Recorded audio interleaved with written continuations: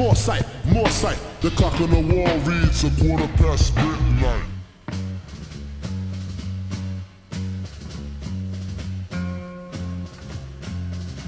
Thank